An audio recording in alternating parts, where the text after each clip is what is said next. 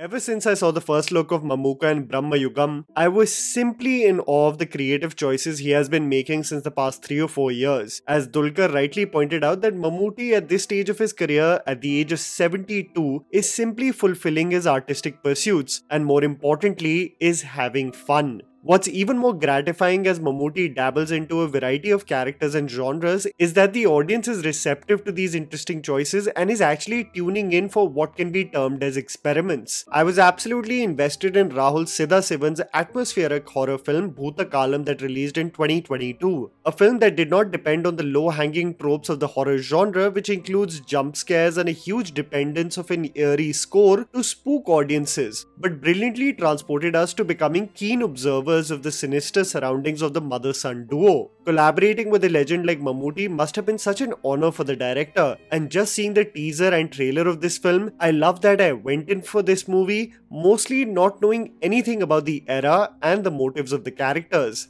Keeping it as vague as possible so that you can explore the beats of this unique horror film, Bramayugam is set in South Malabar in the 17th century and focuses on Thevan played by Arjun Ashokan, a folk singer who due to unforeseen circumstances has fled from the royal court and finds himself in a dense forest, hoping to stumble upon an oasis that can rescue him. He chances upon a dwelling where he is welcomed by a feudal lord of sorts played by Mammootty. The expansive mansion is only housed by the intimidating figure and his cook. The spooky turn of events that take place as Thevan realizes that the dwelling consists of many secrets, all posing a threat to his life, forms the basic premise of Bramayugam. The title reflects essentially the mood of the film, an era that represents the exodus of gods, where worshipping of a higher power makes no sense, and it basically marks the onset of a millennium where there is a frenzy of violence. I was immediately awestruck by the cinematography by Shehnad Jalal and the score provided by Christo Xavier. What Rahul as a director demands from you, especially in the first half of the film, is to surrender to the world he is introducing you to. The atmosphere, the motivations, and the obvious power dynamics are all to set you up for the twisting and shocking revelations ahead. The black and white aesthetic is something that many people had problems with, but I think it reflected the era and environment effectively, also reminding me of the vintage Hindi horror films like Madhumati and Bees Saal Baad that heavily depended on the atmosphere that reflects the mysterious elements of the world. The eerie atmosphere and characters created by Rahul also reminded me of the Francis Ford Coppola 1992 film Dracula, where Gary Oldman, having turned into a monster in his Transylvania castle, carries out several devious acts for his best interest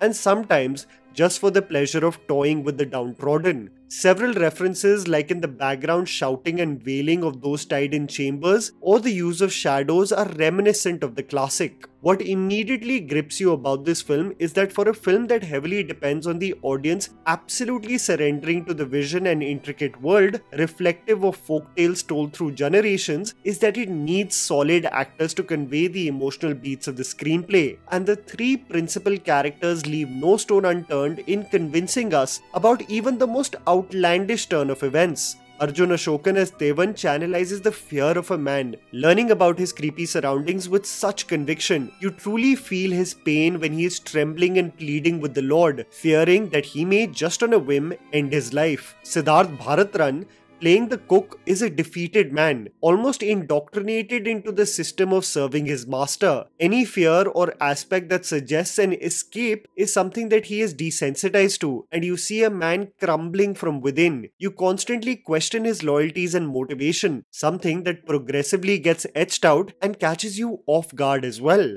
It is Mammootty, however, that I am in awe of. What can't this legend pull off? I am so blown away by his chameleon like ability to become an unhinged monster, his towering presence, his devil like manic laughter, the savage manner in which he feasts.